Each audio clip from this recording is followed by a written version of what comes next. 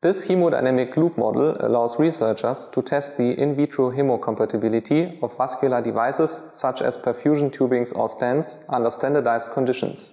So this technique does not exert any impact on the blood by mechanical force and thereby avoids the misleading results by intrinsic activation of the blood components. Before attempting an experiment, proper mechanical part assembly, perfect loop closure system construction, and slow blood loading into the loops must be practiced.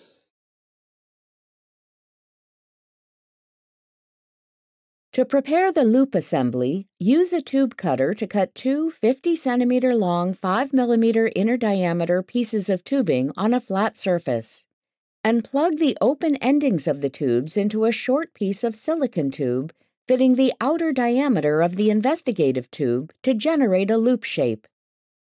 Carefully tighten the locking screw of the tension band connector and adjust the closing force so that no gap remains between the tube endings. If the locking screw is fully tightened and the tension of the polycarbonate band seems too low to close the gap between the tube endings, Open the locking system and cut a few millimeters of the tension band. To prepare a stent loop assembly, open two of the loops and take the tube out of the tension band system. Then insert the stent into the middle of the tube as instructed by the manufacturer.